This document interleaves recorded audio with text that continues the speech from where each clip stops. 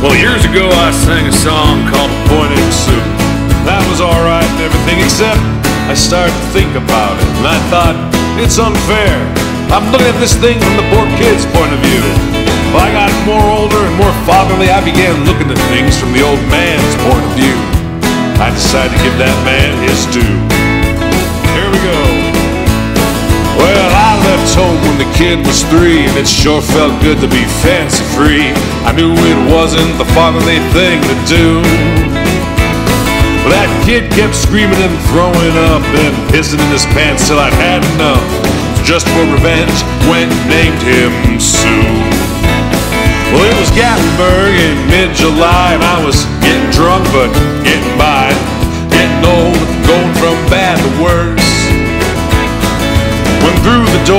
an awful scream come the ugliest queen I've ever seen. He says, My name is Sue. How do you do? And he hit me with his purse. This ain't the way he tells the tale, but he scratched my face with his fingernails.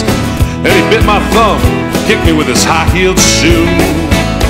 Well, I hit him in the nose and he started to cry. He threw some perfume in my eye. Sure ain't easy fighting with a boy named Sue. Hit him in the head with a cane back chair and he screamed, Hey dad, you messed up my hair. He hit me in the navel, knocked out a piece of my lint. Well, he was spitting blood and I was spitting teeth and we crashed through the wall and out into the street, kicking and gouging in the mud and the blood and the crème de menthe.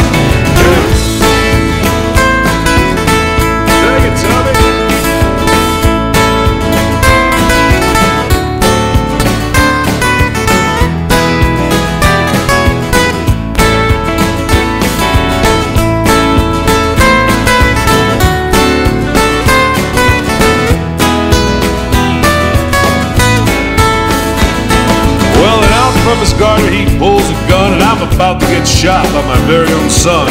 He's screaming about Sigmund Freud and looking grim. So I thought fast and I told him some stuff, how I named him Sue just to make him tough. I guess he bought it, cause now I'm living with him. Yeah, he cooks and sews and he cleans up the place, and he cuts my hair and he shaves my face, irons my shirts better than a daughter could do. And on those nights when I can't score, well, I shouldn't say anymore. Sure it's a joy to have a boy named Sue. Yeah, son is fun, but it's a joy to have a boy named Sue.